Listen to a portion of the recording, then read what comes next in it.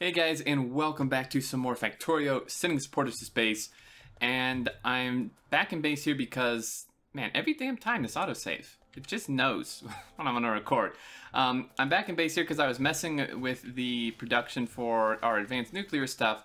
I was considering uh, this episode converting the module thing to produce nuclear parts, but I kind of wanted to still do some modules, plus it's running low on iron, so I'm not sure how much it could do anyway. And then on top of that, I was looking here, and the main base is actually doing a pretty good job supplying um, the production for these, so I've just bumped up the numbers a bit, because we will definitely need to expand stuff, and I also have a total of four additional advanced nuclear reactors. There's one in here, and then this actually holds three.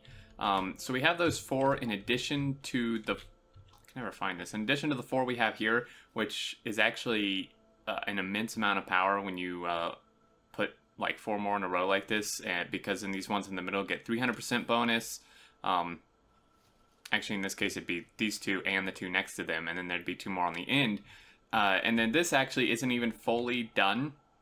Uh, I need to, I believe, I would need to remath it again, but I need to put, I think, another one of these over here, and that's it for these four. Um, so this is actually, like I said, this is a ton of potential power uh, that we just need to build. Uh, but what we're going to do today is we're going to mess with some more rails. I hope you don't mind. Uh, I mean, you guys said you kind of want to see some rail stuff, you know, once in a while. I did not build this out yet. I've been I've been so swamped uh, between the mad science thing and uh, I also um, some real life stuff uh, over the holiday weekend, at least for me in the U.S. the fourth. But, but yeah, so what we're going to do is I've been brainstorming what to do with tying these in. You guys left some really good suggestions. I was talking to uh, the design team and trying to figure out what the hell we're going to do with uh, tying these in because almost any way I look at it, it's going to be a bit of a mess. um, and I think the decision I've come to based on thinking about it myself, talking with the design team, and then also your guys' suggestions. You had quite a few. Um, and I think what I'm to go with, and this may seem really like weird or bad at first, but I think it's honestly to be the best way, is to almost have, like I said, I was to have a separate ore network, right? A train network opposed to my other, like my plate trains and my other production. But I think on top of that, I may actually have two separate ore networks. Um, meaning one for copper and one for ore, or iron ore for the iron plate and iron ore for the uh, steel. Those two would share a network, I think. Um, but what I'm thinking, because of how these turn off and how this would work if I just did one solid main line, um, it would be a bit of a mess. Uh, actually, more than a bit of a mess. It probably wouldn't work. so what we're going to do is I'm thinking we're going to do, obviously, four-lane main line, but we're going to have um, the ones for copper come from the west-ish or southwest um, because I've already explored down here. It's it's actually better for resources if you go mostly in one direction because um, you start hitting that uh, like richness by distance factor, whereas if you explore just like the entire map in a square, um, it's actually not going to be quite as good. Um, so it, it would actually benefit us to go mostly in the south and a little bit west, maybe a little bit east. Um, so my thought here, since this is copper, copper would come up from, you know, again, this general direction, come up and tie in, and the, the, the line would not proceed past uh, here, essentially, right? It would not be the same one as the iron. And then the iron would come from uh, this general direction. And I know there's mixed patches down here, uh, so we would have to do some interesting split offs and stuff to get to the patches without intermingling the lines. Um, but I think that's going to be easiest because, you know, then it's only copper. You know, copper is the only thing on this main line going this way. Um, and we do a four lane, that actually leaves two lanes for input, right? Because you have two going one direction, two going the other. Um, so two for input. And we may actually, I'm debating, because um, I mentioned uh, this was designed to have just one lane come in and split off to each stacker, and the trains actually were distributing quite evenly, surprisingly. Um, I'm wondering, though, if since we have two lanes of input, if we actually just want to give one lane to this side and one lane to this side, um, now that would require us to balance our outposts a bit more, which is a bit more micromanagey, which I'm not sure if I want to do or not. Um, and what I mean by that is, you know, if I have like one main line tying to here and then the other one tying to here, I have to make sure that my outposts and train amounts are kind of balanced, like in terms of tied into each main line uh, section, because you know, it doesn't really do us much good if I have 30 trains going to this side and five trains going to this side because it's going to completely unbalance the whole thing. So that was the advantage to the one lane entry and the trains sorting themselves out because they actually did a pretty good job and that requires like no micromanagement on my part. But anyway, that's the plan. I'm going to see what I can do. Um, we're going to go down here and kind of build some stuff out. Obviously all this would need to move, but um, that's okay. Uh, so yeah, I'm not, I'm not sure. I mean, this is, the, the main problem actually, the tie-ins would be easy. The main problem is how are these going to tie in because these are the exits. Um, this one here and this one here. And I can't think of any clean way to um, have these tie back into the main line aside from doing something really, really weird. I think one of them's going to have to cross, which is going to be a bit wonky. So what we're going to do is we're going to hop in the helicopter, which I don't actually know where I've left it again. again, uh, I'm actually getting lost my own base. Isn't it like over here? Oh no, it's up here. I have these things like all over the base. Um, and we're gonna just mess with that because that's, I mean, that's really the main thing. You know, the building the smelter, that just requires me to, I mean, I'm not gonna record that because you kind of saw it on the iron and it's uh, really not that interesting. So that's kind of an off-camera thing. And the rails are actually the main uh, kind of blocker for us now is we have to figure out how to tie those in. Um, once we figure that out, then we can actually just kind of forge ahead really easily. Because um, the uh, the modules are, like I said, they're kind of running out of iron, and I have enough built up to finish the copper and steel smelters. So um, I'm just gonna let this run until I have to build the steel smelter, which will be soon, and then we can just move this, tear it up, build the steel smelter, which shouldn't actually be too difficult and then just once we figure out our tie-ins, that should be easy as well. So that's why figuring this out is kind of important to do now, uh, because, you know, without that, we don't have any ore input. So we're going to fly down here. Now I could test it with the iron, I suppose. I mean, it's going to be the same thing, really, in essence. Um, actually need some landfill. We might need to fly down to this uh, stone outpost. There's a whole ton of landfill just sitting there uh, I know I converted this stone outpost to supply the main base, but it was a uh, landfill outpost. Oh, okay, that looked like iron. I was like, wait, I thought there was a stone patch there. Um, stop, halt. Okay, so we're just gonna yoink as much, uh, we actually had quite a bit of landfill. I'm just gonna take quite a bit because I want to make sure I have enough. I just need to landfill the edge of the lake. We could actually just do this with the iron. I mean, we already have a main line there. I might actually want to move it closer. I'm not sure. Um, we'll have to see. Okay, well, you're going to build that. Great. Okay. Sure. Go for it. That's fine. Uh, but yeah, I hope you guys are enjoying the Mad Science series, and I uh, the feedback's been really good. It's been a lot of fun, and I hope you don't mind the reduction in these episodes. Like I said, I'm definitely not quitting this by any means. Uh, I just have to reduce it a little bit simply due to my own time restraints, like in real life, and then also just, you know, uh, I don't really want to flood the channel with like four episodes a day of stuff. Some people would love that, um, but I think the majority of people, I mean, a lot of people can't, couldn't even keep up with like one a day of these. So um, I'm just trying to uh, landfill this enough so we can actually bring this line down here. But uh, yeah, so I'm not sure if I want this main line here. We'll have to see. Like I said, I wanted space for uh, 3103 to fit like between the main line and the stacker. And people had also mentioned like a pre-stacker for the stacker. And Hopewell and I had discussed that. The thing is, um, that kind of, we feel like that can potentially throw off the trains actually distributing evenly here if they have to like go into a stacker and stop first um, and stuff, it may mess up the fat, like them evenly distributing. Um, so I'm not really sure what to do there. Uh, let's go up here and build actually this one line out. See now this is now theoretically. Now I know we need a lot of trains in here, but theoretically one line in should not actually be that much of a limiter on. I mean it, it is a limiter on throughput, but um, like the trains shouldn't just be backing up on here, right? Because I mean, this is the point of a stacker. Is the stacker is huge. Each side of this can hold like I, I don't I don't know 30, 40 trains or something. I'm just throwing numbers out there at this point. um, but a lot of trains, right? So these things should blast through. They should already have a path decided pretty much. And like I said, remember these stations turn off once there's three trains in here. So if there's three trains in here, the dude isn't even going to try to path here. He's just going to go somewhere that's open. So he should just blast through into the thing he needs. It's not like he's going to like come here, stop, go up, stop, go up, stop, and go in. I mean, he should just come in, choose what side he wants. And when we tested it, this is how it worked. You know, they didn't stop like on this middle track and then move up a bit and then stop. They zipped through this one lane, this one entry lane, chose a side obviously immediately, and then just zipped through into the uh, stacker position that they wanted.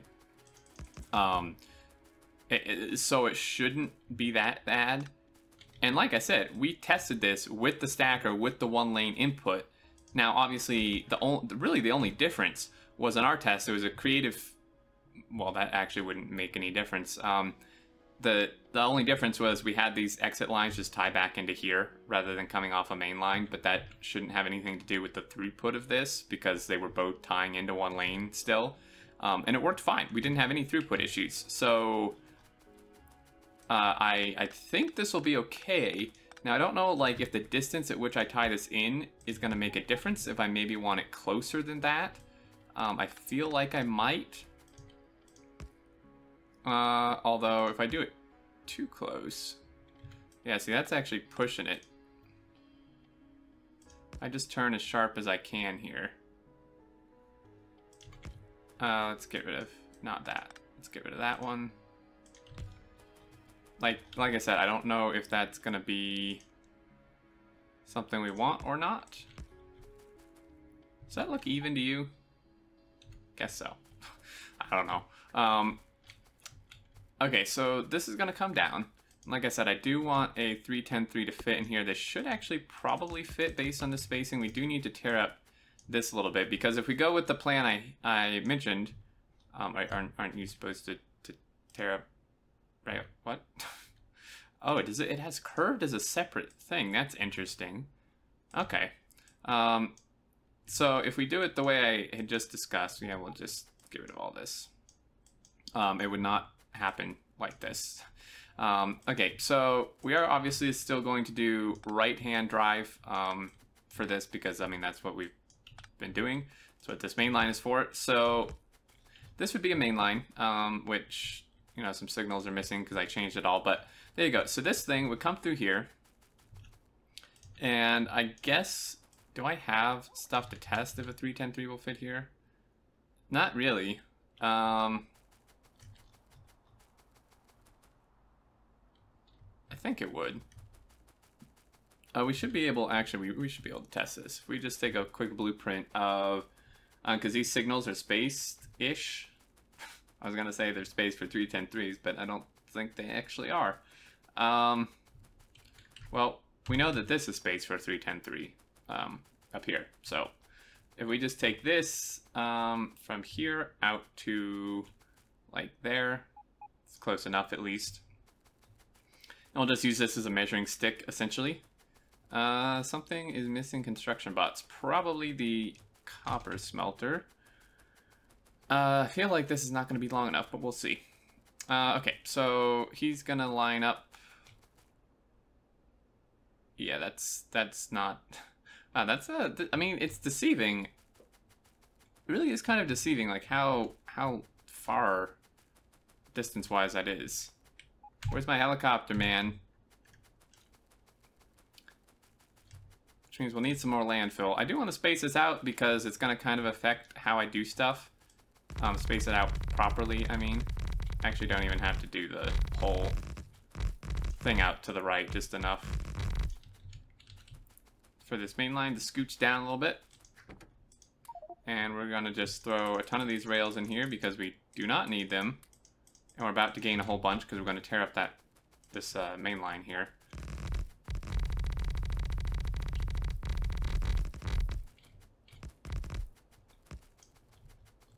Okay, so let's go ahead and uh, actually, I don't think there's any stray chain signals in here, but we'll do this anyway.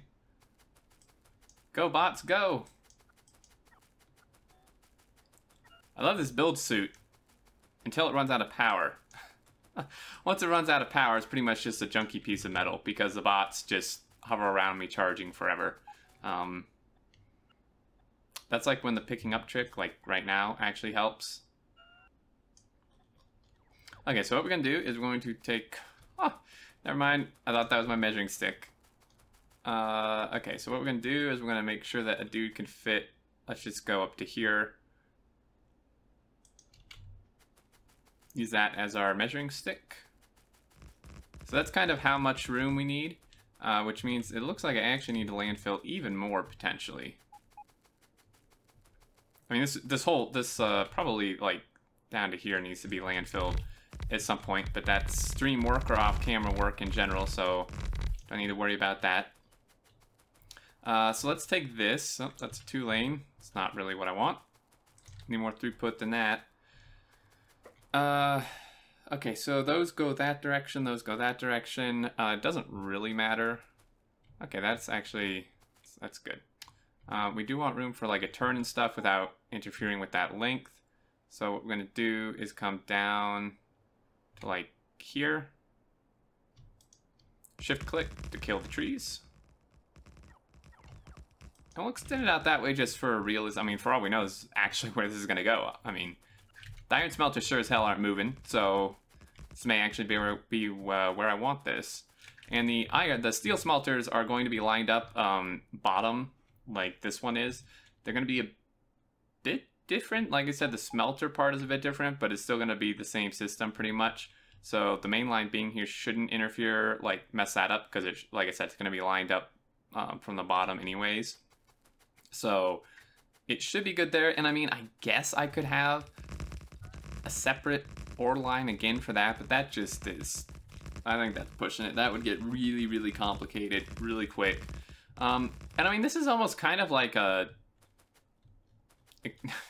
I don't know, like a hear Exterm share his thoughts episode. I mean, we're not, we're testing stuff, right? And I, and I am, I'm just trying to voice what I'm thinking as I think it. Um, and, and I'd love your feedback. And I think it's, I mean, I hope you find this, you know, interesting to kind of hear my thought process through this stuff, even if it probably makes no sense. Um, okay, so these two, my thought, right, is that if this is just for iron, if this were just for iron, this actually wouldn't even proceed past here. Um, well, this would need to tie in somehow, but the the lanes going from right to left wouldn't proceed pa uh, go past here. Yeah, so um, essentially both these lanes would tie into here. Now, how these would tie into here I don't know. Um, they would still have to cross each other. They wouldn't have to cross the other direction, which I think is the important part. Um, well, they wouldn't really have to cross each other necessarily. Just well, you'll see when I tie it in. I mean, there's I, I don't know. Like I could just do it. I was gonna say a T junction, but you don't need one. I mean, this is this is literally. Um, if I could ever line this crap up, I'm so bad at this part. I mean, this is what it would be, right? I mean, there's no T-junction anything here. These ones, these are for the outbound trains going back to the outpost, right? These would never tie in. It's only going to be these two lines tying in. And I mean, this looks like super simple, like, I mean, I'm not even sure if I can signal this the way I did it. I think I can.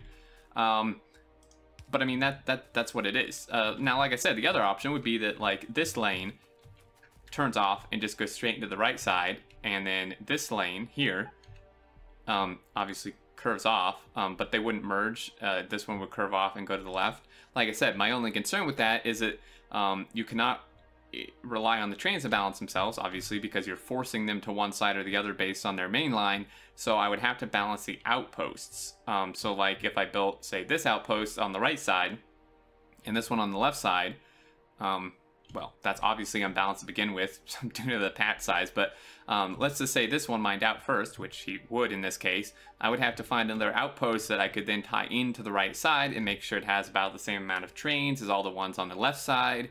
Um, and that amount of micromanagement along with everything else I'm going to have to do, I'm not sure if that's something I really want. Um, so I'm, I'm hoping that...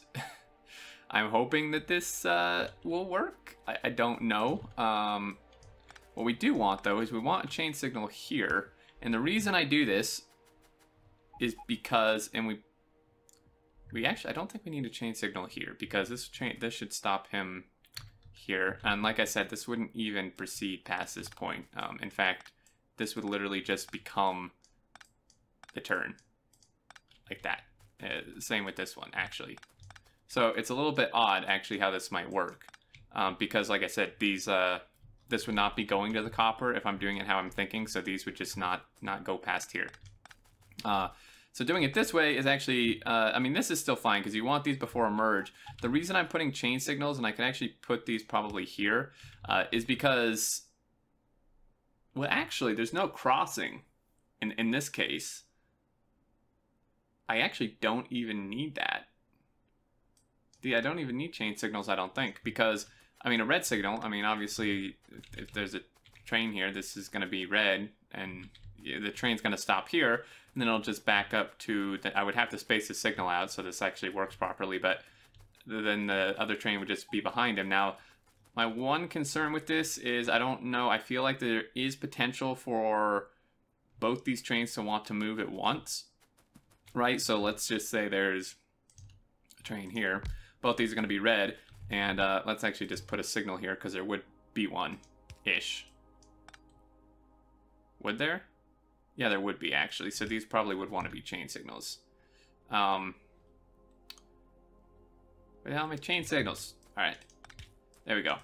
Um, so the, the thing is though, right, is once this guy moves past here, um, so let's just say there's another signal here. Once this guy moves past this, my concern is that both these guys are going to want to move at once. They both have a green signal, and this looks like a crash waiting to happen. Uh, I'm not quite sure how to prevent that. I mean, I'm sure there's a very easy way. Like I said, I'm not that great at signaling. Um, but that's kind of what this would look like. And then, so then the concern is that this line, this exit line from the left-hand switcheroos would come down and he just ties straight into one of these, um, either this one or this one. But this one from the right-hand side would come down and he has to cross the input lanes, right? Because he needs to tie into one of these lanes and he has to cross one of these lanes to do that. Well, both these lanes actually to do that. And that's the one concern with this type of thing. I guess that would almost be unavoidable no matter how I do it. Uh, because, you know, that that's kind of, I mean, that's going to mess up throughput quite a bit, I would imagine, for either the exiting trains or entry trains that this thing trying to cross them constantly. And there's not really any other way to do this uh, I mean, I could have this cross like here, maybe, and then like merge into here, but that seems like almost a worse situation. Um, like I said, I'm not really sure how to do that. The only other thing I can think of, and this is probably absolutely ridiculous, is uh, to do some sort of custom mainline is not do this, which would kind of suck because I've already made this blueprint book for it. Um, but due to how these switcheroos work is to have a custom one where, uh, well, it could either be four lane, but different than this, or six lane. Let's just say we made it four lane still, is um, get rid of, so just uh, for demonstration purposes, let's just say this lane didn't exist. Okay, just imagine this lane was not here on the whole thing. Um, is to have a custom blueprint or a custom rail design where we have these two lines, which are still as they are, they're still the input, um, and then have one going this direction from here, and this is where this exit line would tie into, right? He just come down, he doesn't cross anything because these don't proceed past here. He comes down, ties into this one, and then have another one instead of down here, and this is where it gets a little bit wonky and may just be dumb, or it may be great, I don't know, um, is have the other one. One, two, three. Have the other one here. Have this one be one that heads out this direction, so the same way as this, but it's up here because then that's where this one ties in and it does not interfere with the input lines. Now, of course, you're going to have to cross them at some point when you tie an outpost is the one thing with this. Uh, you know, because this comes down, so let's just say we're going west or south. This would come down, so this guy would be on this side going top to bottom.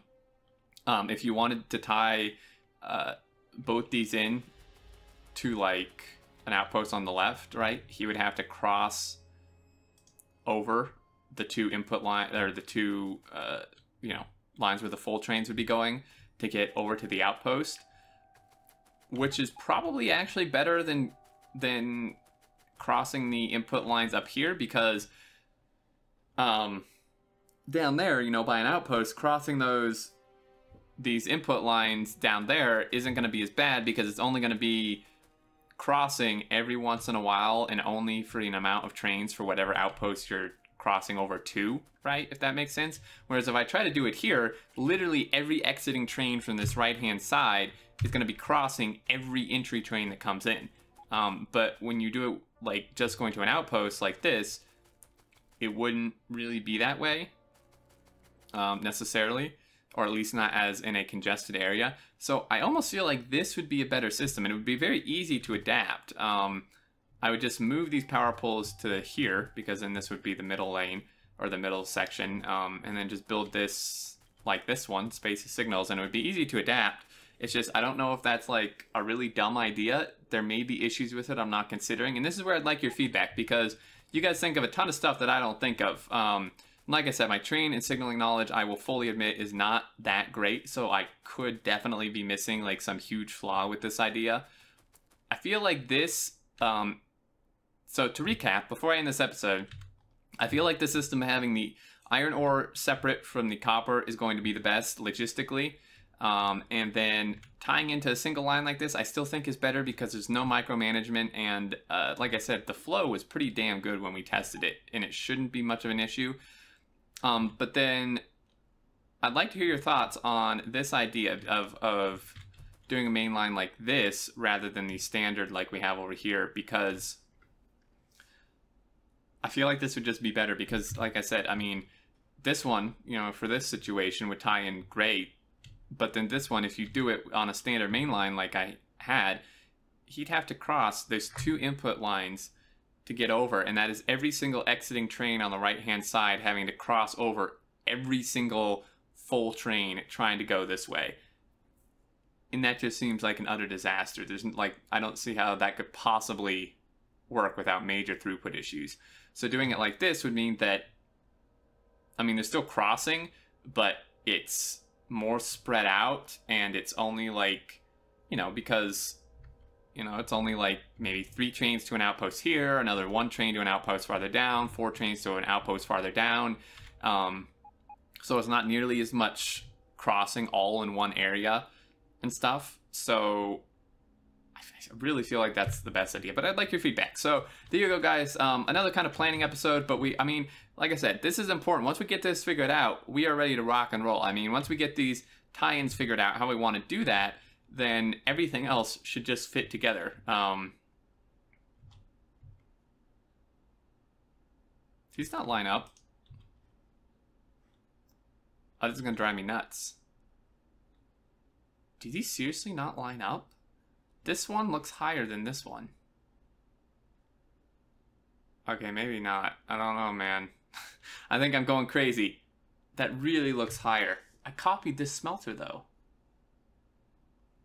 Oh, that's weird. I think it's these throwing me off. Anyway, before I get too distracted, guys, thank you so much for watching. I hope you still enjoyed um, this planning type episode. Again, leave your comments, feedback down in the comments, um, or hit me up on Discord. And uh, if you did enjoy, feel free to leave your like. But until next time, I look forward to seeing you all, and do take care.